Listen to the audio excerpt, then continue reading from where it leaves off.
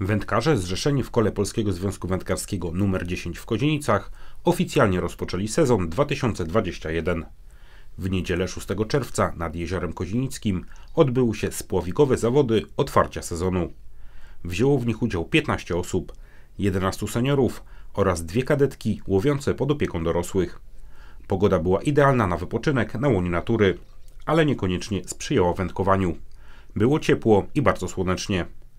Ryby brały, ale tylko do pewnego momentu. Po godzinie dziewiątej brania zdarzały się bardzo sporadycznie. A co do połowów, z tym bywało także różnie.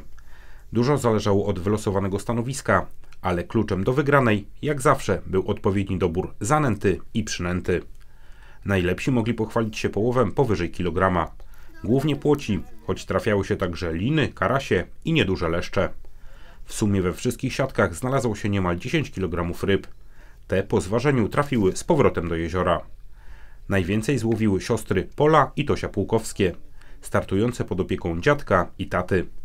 W siatce starszej Poli było ponad 2300 gramów ryb, a Tosia złowiła blisko 1700. Podobnymi wynikami nie mógł pochwalić się żaden z seniorów. Najlepszy w tym gronie Kazimierz Jemiołek złowił 1290 gramów. Drugie miejsce z wynikiem 680 zajął Andrzej Koza, a trzeci był Krzysztof Węgierski 670. Puchary i nagrody za zajęte miejsca wręczył prezes koła nr 10 Paweł Kultys. Na koniec zaprosił na kolejne zawody.